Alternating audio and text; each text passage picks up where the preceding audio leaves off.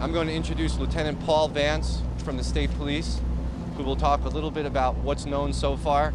We understand that you are all interested in information. We'd like to get you that information as quickly as possible, but the governor's chief concern is making sure that the families have information as quickly as possible, and that's where he is now. This is Lieutenant Paul Vance from the State Police.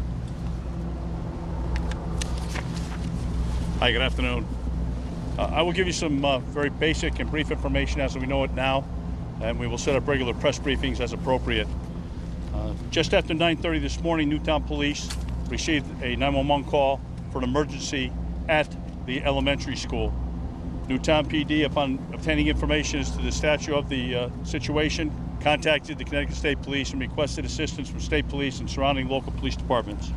On and off duty troopers responded to the school and with New, Newtown Police immediately upon arrival entered the school and began a complete active shooter search of the building. That included checking every door, every crack, every crevice, every portion of that school. Our main objective was to evacuate as quickly and efficiently as possible any and all students and faculty in the school. The, the entire school was searched. That was accomplished. A staging area was set up. The students and staff were put into that stage, staging area and soon thereafter, the children were and staff were reunited with their parents and their loved ones. There were several fatalities at the scene, both students and staff.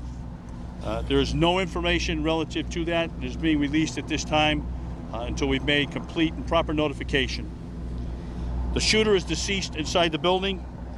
There's a great deal of work that is undertaken uh, immediately upon locating the shooter, and that is there's a great deal of search warrant activity there's a great deal of law enforcement activity both in and out of state to ensure that we cover all the bases relative to uh, that, that specific individual.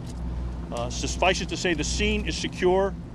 State Police Major Crime Squad, Newtown Police Department, uh, Danbury State's Attorney, and many agencies are working together to answer all the questions surrounding exactly what happened.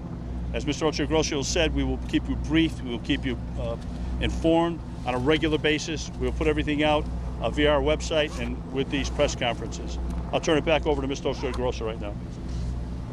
Uh, the governor took a call from President Obama a little while ago, who was calling to express uh, his condolences and condolences on behalf of the nation, and pledged whatever resources uh, the federal government can bring to bear to assist the families and to assist in the investigation.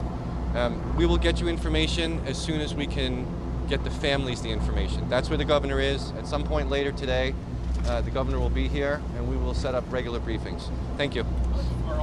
Matt, both your names again, please. What's your name? Roy, my first name. Again, again, no questions at this time. I apologize. We will not able to answer any questions. As I said, the scene is secure. The situation is secure. We will notify you shortly when we will come back for another briefing. Uh, as quickly as we can. But you can say that the public is not in danger. Public right? is not in danger. That's correct. Hey, Lieutenant, everything's here, right? All the briefings. Lieutenant Paul Vance there with the Connecticut State Police.